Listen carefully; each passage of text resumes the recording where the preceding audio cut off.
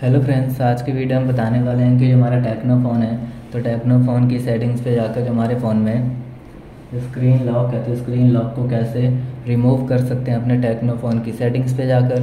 तो video start करने से पहले हमारे चैनल को लाइक करें सब्सक्राइब करें और साथ में ही बेल आइकन दबाने ना भूलें। तो वीडियो स्टार्ट कर लेते हैं। तो आप देख सकते हैं कि जो फ़ोन के आइकन्स हैं, इस तरीके से शो हो रहे हैं।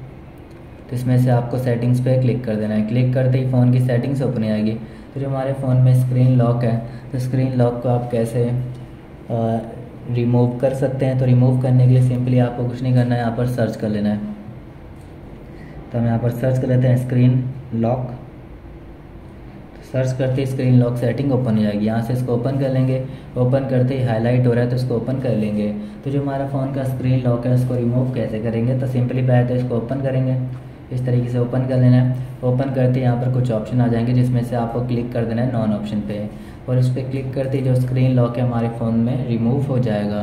तो इस तरीके से आप स्क्रीन लॉक को रिमूव कर सकते हैं। टेक्नो फ़ोन में और स्क्रीन पर भी शो नहीं करेगा। आप देखते हैं कि यहाँ पर शो नहीं हो रहा है। तो इस तरीके से स्क्रीन लॉक रिमूव कर सकते हैं। और साथ में जैसे अगर आपको ऑप्शन नहीं मिलता है तो आप फ़ोन की सिक्योरिटी सेटिंग पे जाकर भी स्क्रीन लॉक को रिमूव या सेट कर सकते हैं। सिंपल आप देखते हैं, आपको जैसे सिक्योरिटी ऑप्शन मिल जाएगा इसको चले जाना है इस पर जाते ही, आपको जैसे इस पर जाना है तो हमारे पास ऑप्शन आएगा स्क्रीन लॉक का।